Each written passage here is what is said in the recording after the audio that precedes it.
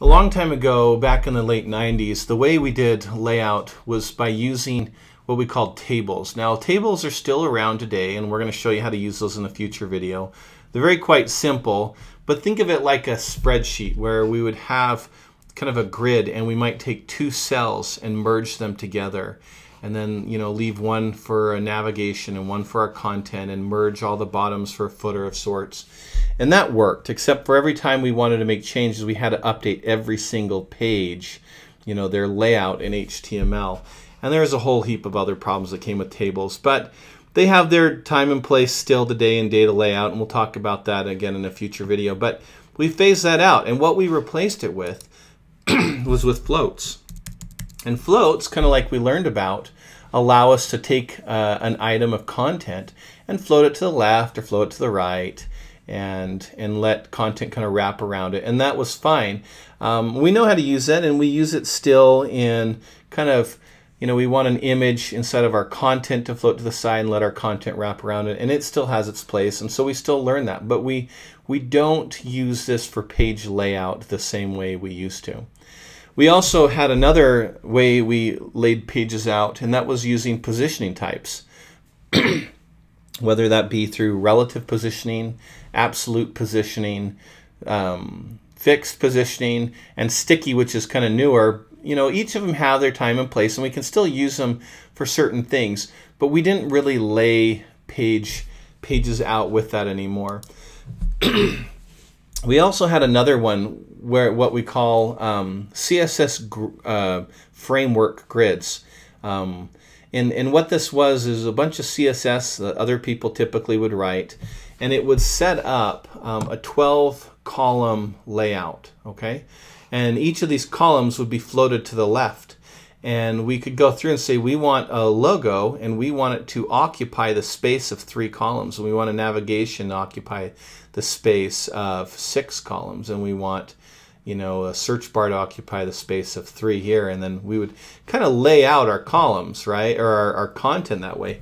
And because each of these columns, um, you know, were floated left, if we shrink down the screen, um, this navigation, because it was also floated left, would pop underneath logo and search would pop underneath navigation. And they would stack. And and it was great you know and that wasn't that long ago we used it. If if anybody is familiar with bootstrap or some of these different um, you know tools out there frameworks out there that we can use this is what they're built on. But today we've moved beyond this to something much more powerful and really what we use looking forward as far as page layout goes and that is what we call the css grid or native grid okay and and we're going to show you that today um, in a series of videos the first thing we're going to do is we're going to apply a grid to this, this photo gallery here. And then we're going to apply a grid in a future video to our entire page and let that control the page layout of everything together. So in order to change this over from Flexbox, which we have it on right now, into Grid, it's important to cover a couple concepts. One, just like Flexbox, um, you have to maintain the parent-child relationship, okay? Meaning, if you want um, this image of the mandrill and the squirrel monkey to show inside that grid, it's got to be a direct child of, of gallery, okay? And so let's go through, and you're going to see a lot of similarities between Flexbox and Grid. We're going to first change this over to Grid. Um, we're going to take off these. These are all Flex items here and we'll leave our border on and we'll leave our images at 200 pixels and we'll refresh that. And you can see here we have a one column grid that goes down the page. now, if we want to change that into two column grid, we've got to use our first thing and that's going to be grid, template, columns. And let's say that we want um, a column of 250 pixels and we'll save that and look at that. And that just created our first column of 250 pixels. So you can see where our grid is inside the light gray and you can see our first column going down the screen um, of 250 pixels. Now if we want two columns, we go to grid template columns and we create a second one and we say that one is going to be 250 pixels and we'll refresh it and you can see it you know, going on there. And if we want a third, then we do the same thing. We say that's going to be 250 pixels and refresh it and you can see the third. And so what it's doing is it's going to, as it's going down each individual child, as it's going down each one of those, it just kind of fills it in as it kind of goes along and, and just kind of fills in the space doing what it needs to do.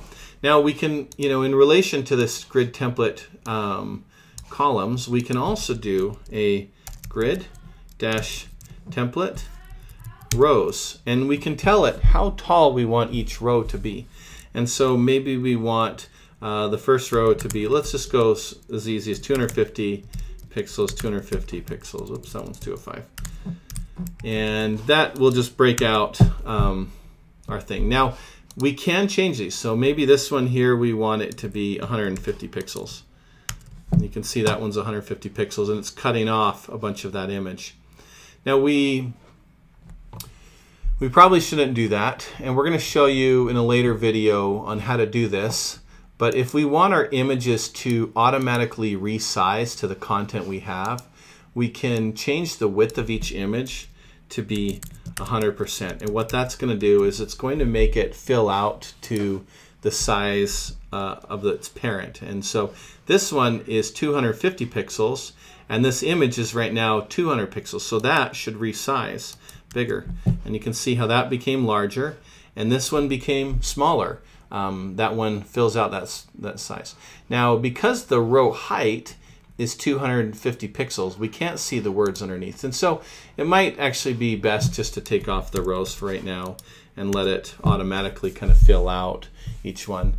Um, but you can see, you know, where we have different size columns in there, you know, maybe this last one we want it to be 350 pixels. We can make that one a little bit bigger. Um, how these you know grid template columns can be established and how this content will automatically fill into those. Now we're going to show you a lot more details later on on how to deal um, with content, but that's a really simple way to add rows and columns and just first establish your grid and what that's going to look like.